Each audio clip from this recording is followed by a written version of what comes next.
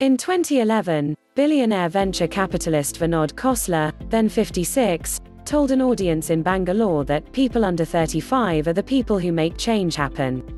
People over 45 basically die in terms of new ideas. Khosla defied his own stereotype when, six years later, he became a seed investor in Metawave, a radar company founded by then 54 year old Maha Achour.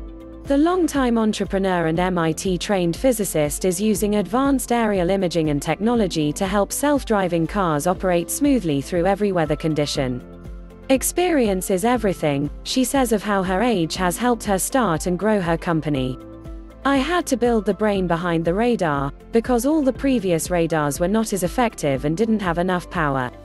That's the kind of bold thinking that put Achour on our 50 over 50 vision list. Produced in partnership with Mika Brzezinski's Know Your Value initiative, this list highlights women over the age of 50 who are bringing breakthrough technologies and creative thinking to science, art, technology, and healthcare.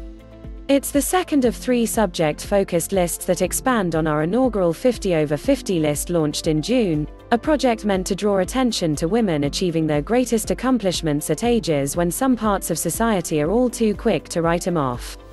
Last month, we launched the 50 over 50 impact to spotlight women over 50 who are changing their communities through social entrepreneurship, advocacy, and education.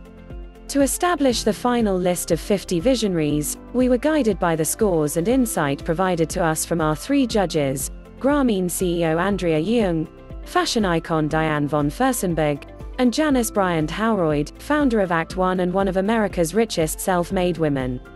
Forbes editors helped refine the list, weighing a multiplicity of factors, from a nominee's unique scientific or artistic vision to the impact they're having in fields like health, robotics, music, dance, and much more. The resulting list includes three MacArthur Foundation Fellowship recipients roboticist Daniela Rus, architect Jeanne Gang, and palliative care expert Dr. Diane Meier each have a coveted Genius grant to their name, a prize whose female awardees, incidentally, have a mean age over 45. It also includes women who are singularly focused on one discipline grounded in either art or science. For Lillian Colón, 66, that discipline is dance. In 1987, she became the first Latina Radio City Rockette, but she didn't stop dancing once she retired from the New York City Dance Company in 2002.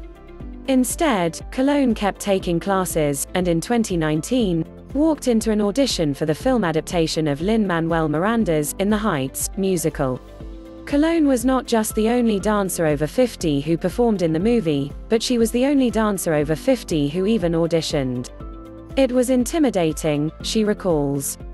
I looked around to see if there was somebody my age, and there was nobody.